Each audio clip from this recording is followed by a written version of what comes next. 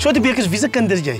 Ek is Samuel en 'n uh, uh, Blommetjie Beker se se seun. Hulle het my grootgemaak. My biologiese ma is my grootmaakma se derde oudste suster en uh, die lewe was destyds so gewees ons kon mekaar se kinders aanneem as gevolg van omstandighede. En dit was my baie groot voorreg en 'n eer om by hierdie mense groot te geword het. Waar kom die storie vertel besigheid nou vandaan? Dit is 'n ding wat net skielik Toe ek my kom kry, toe staan ek op verhoog. Toe praat ek met mense en tree op as seremoniemeester. Ons is so 'n groep, die Lag jou pap groep. Ons is 5 in getal gewees. Ons het nou afgeskaal na 2 toe. Dis nou net ek en my vriend Clement Kloppers, uh, afgetrede skoolhoof. Ons hou ons maar nou nog besig met die goed. Het jy regte werk? Ja, ek werk met die uh, uh, dorpsraad van Reebot. Ek is hoof daar van die elektrisiteit. Watter stories vertel hierdie meesters? Dit stories waar jy met jouself spot of oor ander mense? Verhale uit my uit myself uit gebeure wat met my gebeur het. En soms spot ek ook 'n bietjie, maar maar maar ek ek ek, beweeg nie op daai terrein so baie nie. Ek praat baie van my eie familie. Daar was 'n oorlede oom van my en hy was 'n kerkraad en hy wou graag nie betrokke raak by die kerk hou nie. Hy's meer hier by die by die kollekte en daai goeters.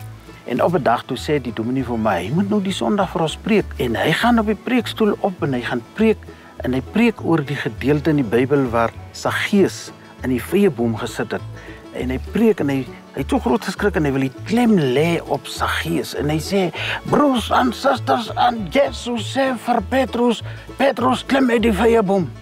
En die gemeente raak bietjie kriewelrig gemeente raak 'n bietjie ergerlik en hulle dis 'n woeling in die kerk en hy sê weer 'n keer hy sê aan Jesus Christus sê vir Petrus Petrus klim uit die vyeboom. En toe is die gemeente nou erg en 'n ouderling een ouderling kom stap nader en hy sê vir hom ouderling Dis nie Petrus wat nie sy vye bom het, dis Saggeus wat nie vye bom sit.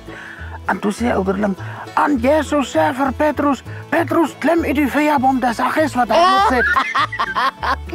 en dieselfde ouderling het in die begin toe die dominee hom eendag vra, "Uh uh jy moet vir ons bid." Toe sê hy, "Dit sê hoor daar hierdie dominee, ek wat nie eens mooi kan sien nie." So wat is daar met jy nou besef dat jy 'n kwai storie verteller is? Dit was in 'n kompetisie gedoen. Die Gondwana uh, collection het 'n kompetisie geloods. Wyle Dr. Jan Spies was 'n groot storieverteller in ons land en hulle het spesifiek gegaan ter nagedagtenis van hom.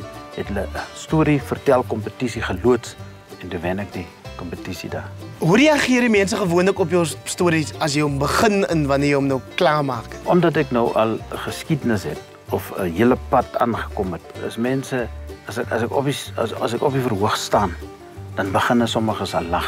Dis asof hulle weet wat ek nou gaan sê. En daar is sommige van hulle wat ewen boodskappe stuur en sê, "Vertel nog daai ene." Hulle hou daarvan om 'n storie oor en oor te luister. So jy vertel stories en laat mense lag. Ehm, um, maar jy sing ook. Ek sing van kleins af en uh vandag sit ek in 'n Report Interkerklike koor. Ek sing tenor. Dat is gehoor hoe klink dit?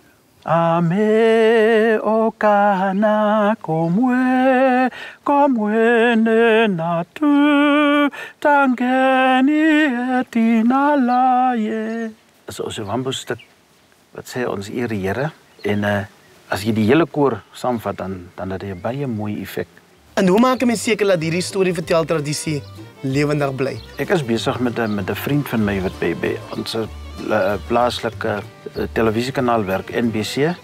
Ons het iewers gepraat dat hy ook kyk dat ons ook so 'n opname maak en en en so aan. So as 'n mens meer uh, uh, verhoog kan kry, groter verhoog as net hierdie klein kerk verhoog, hierdie klein saaltjie verhoog. Dat 'n mens kyk waar kan jy uitkom? Na die breek gaan blom ek soos die mense van Joburg sê by Delia Gammeldien.